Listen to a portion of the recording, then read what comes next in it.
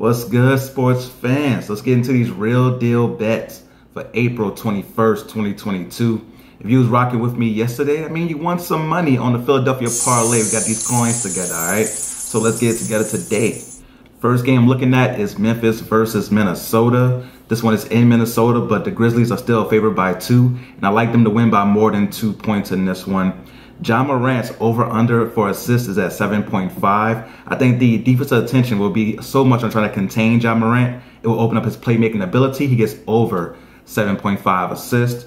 And Dillon Brooks, the over under on three point field goals made is set at 1.5.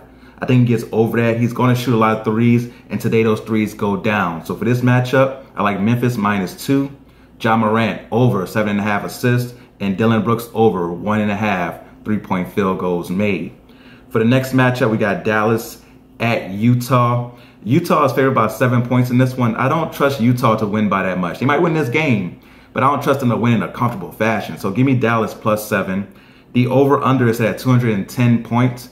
Give me the over. I think that both of these offenses have figured out the other person's or other coaches' defensive scheme.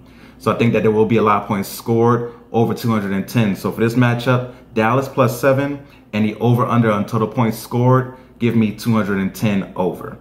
For the last matchup, we got Golden State versus Denver. Golden State is favored by two and a half. I like them to win by more than two and a half in this one. Jordan Poole, the over under set at 22 and a half. Give me the over. I think he gets the same amount of minutes as he's been getting these last two playoff games. And there's no one stopping him on Denver. So give me the over on that. And Draymond Green, over under seven and a half rebounds. Give me the under on the seven and a half rebounds for Draymond Green in this one. So for this one, Golden State minus two and a half. Give me that. Jordan Poole over 22 and a half points. And Draymond Green under seven and a half rebounds as he's busy doing other things on the court.